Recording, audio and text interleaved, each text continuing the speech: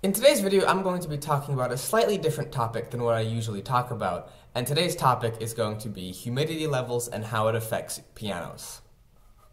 We have found that people say that pianos from California are the best pianos and the most long-lasting pianos. They have the longest lifespans, and they usually have the least problems of um, any piano, especially when you compare them to pianos that perhaps say uh, dwell or live in the East Coast. And um, that is because of a few different reasons that I'm going to be talking about today.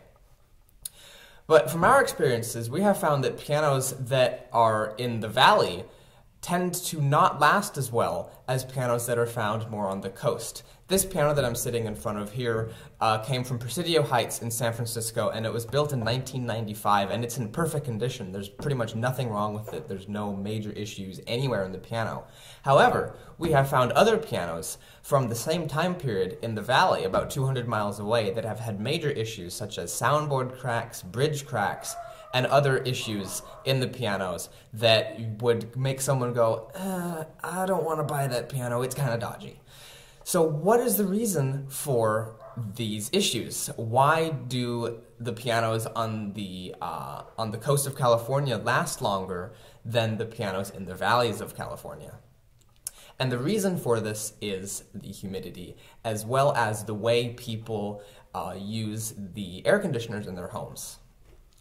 Air conditioners affect the humidity by uh, taking a water out of the air. And in fact, I've heard of people that use the water that the air conditioner takes out of the air to actually water their plants. They run a little hose that the water drains into, and then the water just goes right into their plants and automatically waters them.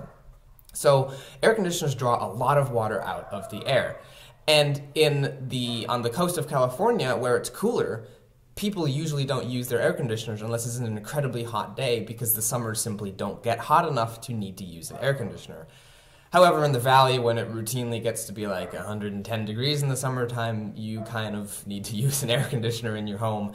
And that is why um, the pianos tend to dry out, the wood tends to shrink, and they often end up getting cracks and other major issues in the pianos. There are several different ways to control humidity. There is a special device that is called a damp chaser that you can install in your pianos uh, that helps regulate the humidity within the piano and keeps it stable. There are also other things you can use like dehumidifiers as well as use air conditioners to your advantage if you want to bring the humidity down in a more humid climate. There are several advantages and drawbacks to all of these different situations, um, particularly with the damp chaser. If they're used incorrectly, they can actually damage a piano. And even when they're used correctly, sometimes a little something can go wrong and then they can affect the piano. Uh, one of our close friends has a damp chaser installed in his wonderful piano, and it always works very well.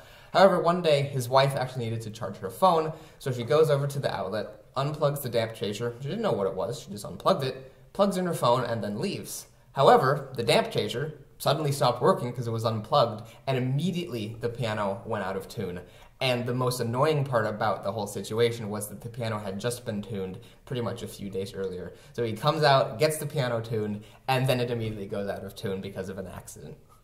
And while I'm on that topic, I would like to add that uh, what I was saying earlier about temperature uh, changes, we have found that temperature changes by themselves uh, do not seem to affect the tuning and stability of your piano. We don't heat our house at night, and sometimes it can, especially in the wintertime, it can get quite cold in the house, and then we have to warm it up over the day, and then it gets nice and toasty midday. In the summertime, it can get kind of cool in the house and then get really hot uh, during the day. And uh, it doesn't seem to affect the piano, it's the humidity that really affects the piano's tuning. During the right six months out of the year, you can pretty much not tune the piano at all, especially if you're not really, really worried about each individual note being in tune. However, during the wrong six months, you're going to need to tune the piano uh, several times because during the spring and during the fall, the humidity kind of shifts and swings. And in that time, the piano is going to go out of tune. So if you tuned your piano just before the springtime or just before the fall, it's going to go out of tune, just like the situation I just mentioned earlier with the damp chaser, and then you're going to have to uh, either tune the piano again yourself or have to pay someone to come out and tune the piano, which would be pretty annoying. So my personal goals that involve humidity are going to be once I get this piano as well as my other pianos back into the studio in Tennessee, I'm going my goal is going to be to regulate the humidity to around uh, 60%, maybe a little bit higher than that. And on a note about the other two pianos, I just wanted to add a few people have asked me what happened to the SF10 that I used to use as a practice piano, and they asked if I had gotten rid of it or whatnot. I have not gotten rid of it. The SF10 is going to be going into the uh, the house that we're going to be living at in Tennessee. The Schiedmayer is going to be the practice piano for the studio, and of course, the Steinway D Concert Grand is going to be the recording piano in the studio. Now about the Steinway D, a while back I filmed a video about buzzes and other extraneous noises uh, in your piano and that your piano can produce. And I mentioned at the time that my piano did not have any buzzes. However, shortly after that I discovered a very strange buzz that came and went in the piano.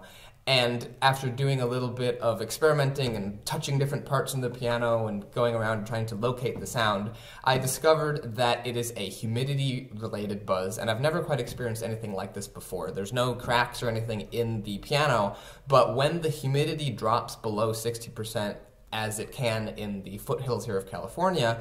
In the mornings, it's usually around 60, but then later at night, it can drop down to like 40% uh, usually high 40s, low 50s, something like that. And during that time is when the piano uh, can buzz. Uh, it doesn't particularly seem to like jazz chords when I do those. It really gets mad and starts buzzing. I tightened up a nose bolt in the piano, and that has taken most of the sound of the buzz away, but it still does buzz faintly when the humidity drops below 60%. That is one of my main goals that I want to keep in the studio, and that's the reason that I want to have the humidity stable above 60%, because a buzz such as that uh, would be pretty much it would make the piano pretty much impossible to record if you're playing it and something inside the piano is rattling and buzzing. So that is the main reason that I want to keep the humidity stable. Also because a stable humidity means a longer lasting piano.